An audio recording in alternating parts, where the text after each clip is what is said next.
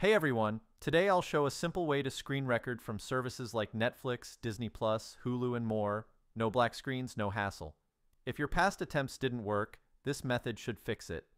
I'll demo a plugin called Screen Record that does the heavy lifting and lets you capture shows smoothly. Follow along as I go step by step through the setup so you can start recording right away. Before we dive into the installation, there are a couple of quick settings we need to check to make sure everything works smoothly. First, head over to your device's settings, then tap on General. From there, go to Background App Refresh and make sure it's set to either Wi-Fi or Wi-Fi and mobile data. This will ensure the app can run properly in the background. Next, go back to the main settings screen and tap on Battery. Make sure low power mode is turned off. This is important because it can interfere with how the app functions. Once you've taken care of these two quick adjustments, you're all set to move on to the installation.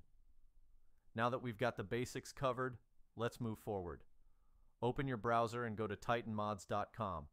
This is a reliable platform that offers various modded and helpful tools. Use the search bar to look up Screen Record and select it from the list of results. You'll be taken to a detailed page with info like download stats and user reviews. Just hit the Download Now button and the download process will begin. The download usually only takes a few moments.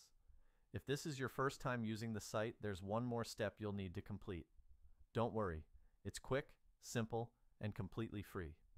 You'll be redirected to a verification page where you'll be asked to install a few free apps from the App Store or Play Store. There will be a clear tutorial showing you exactly what to do. Once the verification is complete, the installation will start automatically. In my case, the setup finished without any issues, and as you can see, the app is now fully installed and ready to use. And that's it. Thanks so much for sticking around until the end. If this helped you out and everything's working fine, don't forget to give the video a thumbs up and subscribe to the channel for more useful guides like this. Got questions or ran into a problem?